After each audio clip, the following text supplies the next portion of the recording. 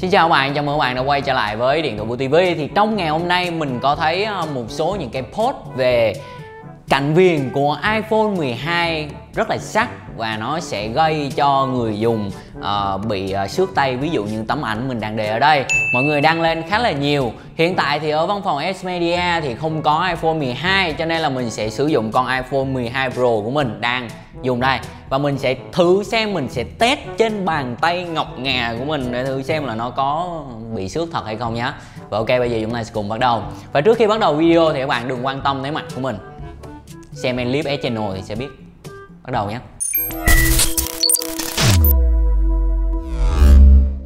Rồi, đầu tiên thì mình sẽ sử dụng tay trái tại vì ờ, uh, và như các bạn có thể thấy ừ, tay của mình hoàn toàn không có bất kỳ một cái vết xước nào cả. iPhone 12 Pro của mình thì cũng đã được tháo cái ốp lưng ra luôn, mình không dùng ốp lưng nữa. Và ngay bây giờ chúng ta sẽ sử dụng uh, iPhone 12 Pro để chúng ta làm bài test. Và đầu tiên đó chính là mình sẽ cầm nắm một cách hoàn toàn bình thường và mình sẽ thử bằng duy nhất một cái ngón là ngón giữa thôi. Đây, chúng ta sẽ cầm cạnh như thế này. Mình sẽ miết. Ok, hoàn toàn bình thường và tay mình vẫn không có bất kỳ một cái điều gì xảy ra cả. Tiếp theo, ở cạnh dưới như thế này.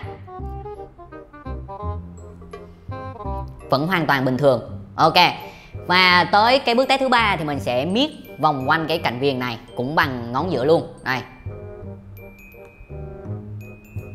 Rồi, và mình cũng không bị gì cả. Và cái tiếp theo nữa thì mình sẽ vuốt từ trên xuống ở cả mặt trước lẫn mặt sau. Thì đây chúng ta bắt đầu bằng mặt trước nhé đây mình sẽ mình sẽ vuốt ngang cái, cái ngón tay của mình luôn. Ok không sao cả. Đó. Và mặt sau. Đây. Đây và ngón tay của mình thì vẫn không bị gì cả. À, ok mình sẽ thử cho các bạn tiếp cái phần mặt này. Đây. Và đây.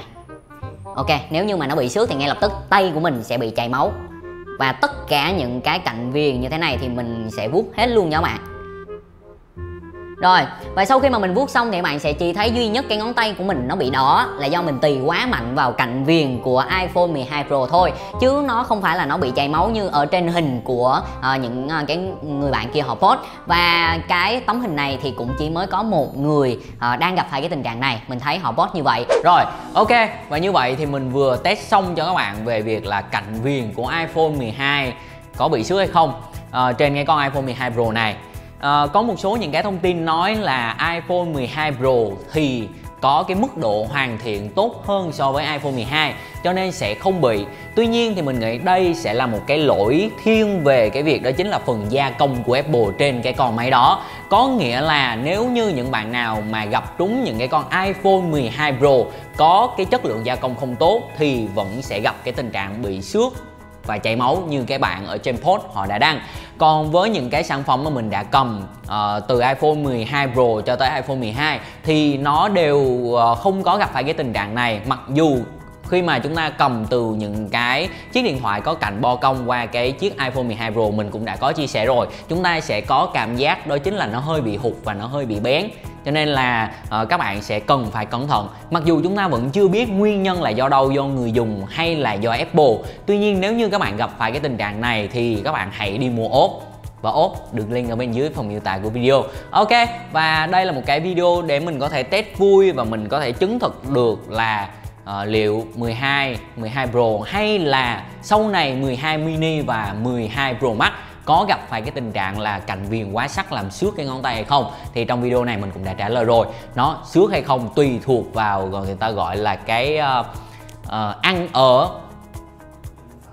Uh, người ta phụ thuộc vào nhân phẩm của người mua.